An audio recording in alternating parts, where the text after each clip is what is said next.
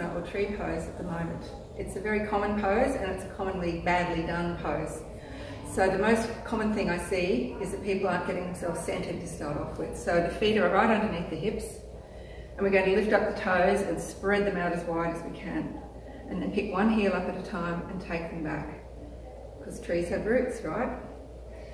Then we're going to bring the hands into prayer position in front of the heart. And without throwing the hip over to the side, we're going to take the weight over into this left hip. Okay. Now we're going to pick the heel of the right foot up and turn the knee out to the side because we need to get the rotation of the thigh bone. That is the most important thing here. We're not just taking the knee back, but the whole thigh bone needs to rotate. And then when we're settled, we're going to pick the foot up and place it on the leg to wherever it naturally gets to. It's fine to have it on the calf. You can leave your foot on the floor with your uh, heel resting on your ankle, if that's where you're up to. Or if you can get up into your groin, Yep, Philip is nice and flexible, so she can do that. The most important thing here is not to allow the weight to come out over the hip. And there is a little bit of that there. We need to bring the hip a little bit further over the leg.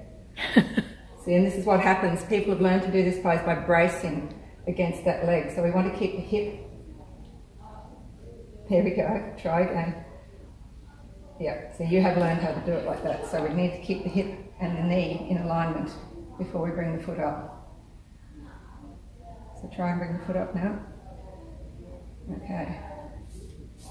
Yeah, I know, because you learned how to do it like that, see? this is a problem. This is a big problem. You're actually pushing your hip right out of alignment and it is going to hurt you in the long run, okay? As your body gets older, you're going to damage that hip joint by doing that, by putting all of that weight into an unaligned hip. Mm. Yeah, so you do have to learn how to keep that hip in, okay? So take it up to wherever you can. Try not to go so high. Maybe only take it to the, the calf. That's much better. And then we need to rotate that thigh bone around. Okay, the next thing that goes wrong here, and I can see it happening, is this hip comes up. We need to get this hip to come down. So the hip comes down. Think that you've got a big bowl of water in your pelvis and you don't want to spill any of that water. There's still a bit of hip action coming here. All right, then draw the belly button back towards the, there we go. And then when you're set and steady and have found your dristi, which is your point of seeing without seeing. Some people are better looking at the floor, some people are better looking up. Whatever works for you. Then you can raise your arms. Relax the shoulders down away from the ears and not thrusting the chest forward. We want the waist nice and quiet. The waist comes back.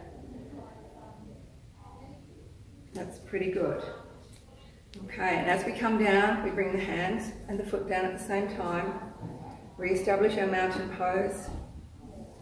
And then go to the other side when we're ready by taking the weight over into the hip without thrusting the hip out. Pick the heel up and turn the knee out, getting that, and this is where we can practice keeping that hip down as we raise the leg. And then draw the belly button back in and raise the arms when you're ready. That's good. There's still a little bit of that hip coming up. You need to bring this hip, that's much better. And then the knee rotates out. Drawing, it's like that old-fashioned furniture that had those um, wooden plugs in the joints. We want to be drawing that hip in, really sucking it in so the hip and the knee stay in good alignment. That's it. Quieten the waist, but drawing the belly button in. So the hip goes down, the buttock scoops forward. Good work. And then bringing the hand and the foot down at the same time. The Vrksasana.